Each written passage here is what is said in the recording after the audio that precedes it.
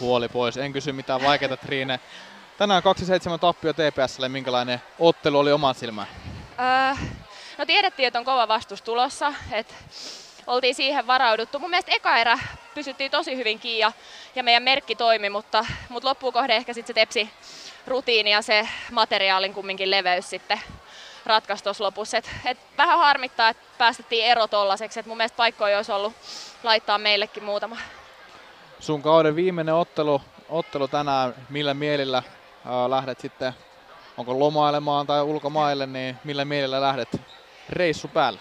Öö, hyvillä mielellä siltä osalta, että toisaalta on kiva niin kuin pitkän pelaamispätkän jälkeen saada nähdä vähän muutakin maailmaa kuin salibändiä, mutta sitten taas toisaalta myös haikein mielin, että tirautin jo tuossa muutama kyynele ennen kuin tulin tähän, että haikeeta, koska nämä ihmiset ja kaikki ystävät tässä seura ympärillä ja mitä on salibändin saralta saanut, niin, niin haikeeta jättää toisaalta tämä, mutta, mutta koska ei tiedä, jos palasit jo suut nopeastikin takaisin joskus.